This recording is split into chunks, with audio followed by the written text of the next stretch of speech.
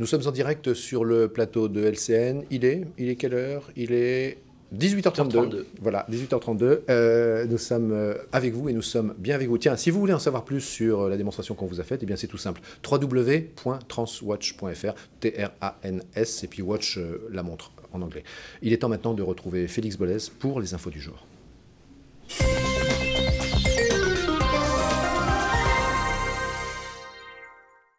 Du ciment et de la cendre, c'est ce que contenaient les enveloppes suspectes adressées à plusieurs établissements publics de Seine-Maritime. Selon la préfecture, aucune pathologie n'a été décelée sur les personnes en contact avec les courriers en question. Le département de l'Eure et de Seine-Maritime s'associe pour la création d'un itinéraire culturel européen sur le thème de l'impressionnisme. Les principaux acteurs se retrouvaient ce matin au musée des impressionnistes de Giverny. François Leroy était sur place. Après le succès du festival Normandie impressionniste, les départements de l'Eure et de Seine-Maritime s'associent dans un projet d'itinéraire culturel européen sur le thème de l'impressionnisme. Une conférence eut lieu ce matin au musée de Giverny, rassemblant les acteurs principaux de ce programme. Objectif valoriser notre patrimoine tout en développant un tourisme intelligent. Nous nous battons depuis euh, plusieurs années euh, pour que nous puissions développer l'axe Seine, à la fois dans ses dimensions euh, économiques, mais aussi dans ses dimensions patrimoniales. Et, parmi tous les éléments sur lesquels nous travaillons, il y a celui du développement culturel et touristique de cet axe. Le projet est maintenant lancé. L'heure est désormais à la réflexion et à la concertation avec les autres pays d'Europe. Un dossier complet sera ensuite établi afin de correspondre aux sept critères d'éligibilité indispensables à sa création. Ce thème des impressionnistes ou des impressionnismes euh, est vraiment extrêmement porteur, extrêmement riche, extrêmement intéressant, euh, là aussi pour un très large public européen. Euh, donc je pense que ce serait vraiment une, une addition à notre programme qui serait très bienvenue. Et je pense que ce soutien régional, départemental est extrêmement positif pour le projet. et ce serait la base d'une coopération plus large, transnationale dans le futur. L'itinéraire culturel est bien plus qu'un circuit touristique, c'est avant tout un moteur de partage entre les pays concernés par la même thématique, mais aussi un facteur d'échange et de développement d'une citoyenneté européenne. Vous savez, la matière est extrêmement riche. Beaucoup de contacts sont déjà établis à travers nos musées, euh, nos conservateurs, euh, des choses avec euh, la Grande-Bretagne, des choses avec l'Espagne des choses avec la Norvège. Et donc, il s'agit surtout aujourd'hui de formaliser tout ça, de le rendre cohérent dans un projet. J'espère qu'on devrait pouvoir avancer euh, pour une labellisation, un dépôt de dossier cette année, une labellisation au milieu de l'année 2015. 26 itinéraires culturels européens existent déjà, dont 20 font l'objet d'un passage en France, et pourquoi pas un 27e traversant notre belle Normandie? Ce mercredi, les présidents des régions Haute et Basse Normandie, Nicolas Maillard-Rossignol et Laurent Beauvais se sont rencontrés à l'occasion d'une réunion de travail à Rouen. Devant la presse, ils ont tenu à réaffirmer les liens et les collaborations qui existent entre les deux régions. À l'ordre du jour, le développement de la vallée de la Seine, la ligne Nouvelle Paris-Normandie, l'aéroport de Deauville-Normandie, l'éolien offshore, l'enseignement supérieur et la recherche, ainsi que le tourisme. Pas de réunification de la Normandie au programme. Même si Laurent Beauvais, de son côté, assume que la question se posera forcément le moment venu, on écoute les présidents de région au micro de Pierre-Maël Delobert.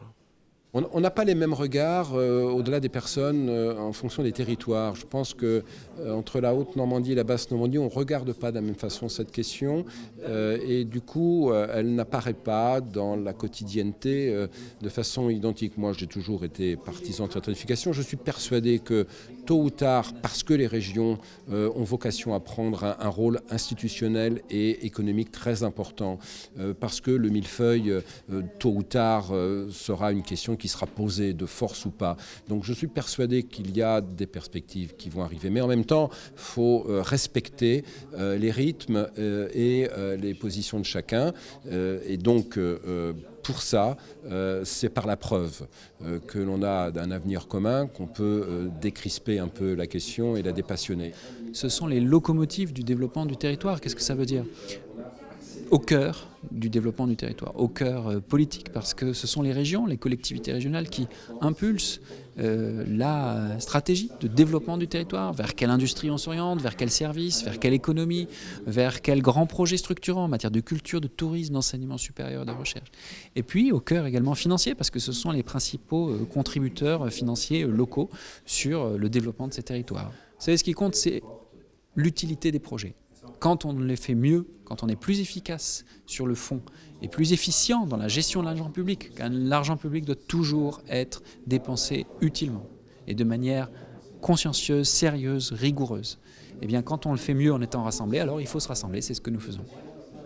Le parc éolien en mer au large du Tréport a été l'objet d'une conférence ce jeudi matin. Le consortium GDF Suez Areva s'est engagé auprès des acteurs locaux. Un reportage de Maëlys Château. GDF Suez, EDP Renouvelable, Neoen Marine et Areva. C'est l'un des deux consortiums susceptibles de gérer le futur site d'éoliennes offshore du Tréport. À l'INSA de Rouen ce jeudi matin, le groupement a présenté ses engagements aux acteurs locaux, à commencer par la création d'emplois. Ce projet euh, créera 6 euh, 000 emplois euh, au total, des emplois à la fois au niveau de la fabrication des nacelles, des emplois au moment de la construction, et ensuite euh, des emplois au moment de la, de la maintenance, euh, pendant la durée de vie. Et, euh, certains de ces, ces, projets nécessiteront de la maintenance pendant 25 ans, et donc pendant 25 ans, il y aura des emplois. Pour le second appel d'offres éolien offshore, Areva mise sur une nouvelle éolienne de 8 MW contre 5 MW utilisés jusqu'à présent. 8 MW permettra de produire plus avec des coûts d'infrastructure qui seront économisés et donc au global un meilleur rendement pour le projet. Secondement, et c'est très important pour l'impact environnemental, nous réduisons le nombre de machines pour une capacité de 500 MW à installer. Nous avons uniquement 62 machines à installer, ce qui réduit de 40% le nombre d'éoliennes par rapport à la solution que nous avions précédemment. Dans ce projet, les éoliennes sont espacées d'un kilomètre l'une de l'autre. Leur implantation est compatible avec les activités de pêche. Elle ne néglige pas non plus les activités touristiques et environnementales. On a adopté une configuration euh, qui est particulièrement, euh, particulièrement économe en, câblage, donc qui du coup est moins perturbante pour l'environnement marin. Et puis on en souille les câbles à une profondeur suffisante pour qu'il n'y ait aucun risque euh, par rapport au filet, par exemple. Le groupement s'engage à créer une filière française de l'éolien en mer exportable à l'international. Nous, les opérateurs euh, énergétiques, nous devons contribuer pour que l'Europe soit compétitive, à dire à des coûts bas d'énergie, sache euh, produire des produits qui soient euh, commercialisés dans tout le monde. et nous devons contribuer par cet objectif-là. Pour réussir cette filière industrielle à l'export, Areva compte créer à Rouen un centre de recherche et de développement composé d'une centaine d'ingénieurs. Cet engagement ambitieux ne verra le jour que si le projet de ce consortium est retenu. Verdict au printemps prochain. Le Tour de France, de nouveau deux passages en Seine-Maritime en 2015. C'est ce qu'a annoncé le nouveau sénateur sénomarin Didier Marie lors de sa cérémonie des vœux mercredi soir. Il a déclaré avoir rencontré Christian Prudhomme, le directeur de la compétition, qui souhaite que le Tour de France fasse étape dans le département trois ans après son dernier passage. Pour rappel, Rouen était ville-étape le 4 juillet 2012. L'événement avait alors rassemblé des dizaines de milliers de spectateurs sur les routes normandes. C'est la fin de cette édition. Retrouvez toutes ces infos en replay sur le site internet d'LCN.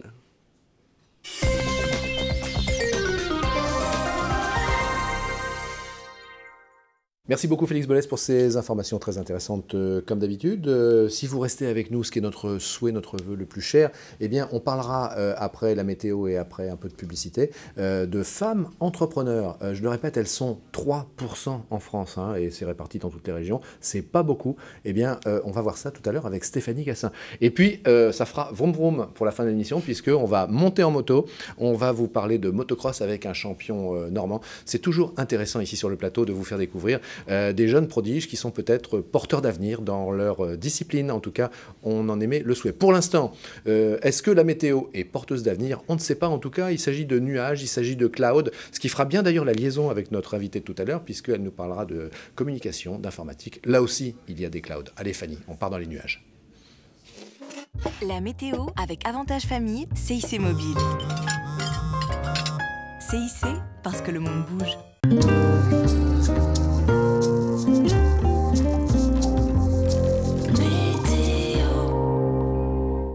Hello la Haute-Normandie Un nuage est une masse visible constituée d'une infinité de gouttelettes d'eau en suspension dans notre atmosphère. Et dans l'atmosphère au Normand demain, il y aura une quantité incroyable de gouttelettes d'eau regroupées dans une quantité incroyable de ces fameux nuages. Le vent s'en va, le froid débarque, il va falloir commencer à se réhabituer à des températures un peu plus hivernales qui diminuent de moitié. On aura 3 à 6 degrés sur la région vendredi. Les gouttelettes d'eau d'un nuage proviennent de la condensation de la vapeur d'eau contenue dans l'air et autant dire que ces derniers jours l'air a eu de quoi se charger en vapeur d'eau. Si on voit le côté positif, parce qu'il y en a toujours un, la vapeur d'eau contenue dans ces nuages restera à l'intérieur de ces nuages donc, et eh bien donc zéro pluie en principe. 6 à 8 degrés l'après-midi, certes ça reste chaud pour un 10 janvier mais vraiment pas assez chaud à mon goût. Hé hé, n'oubliez pas de souhaiter une très bonne fête à Guillaume. Je vous le rappelle, demain c'est vendredi. Excellente soirée Haute-Normandie, à demain. La météo avec Avantage Famille, CIC Mobile. CIC parce que le monde bouge.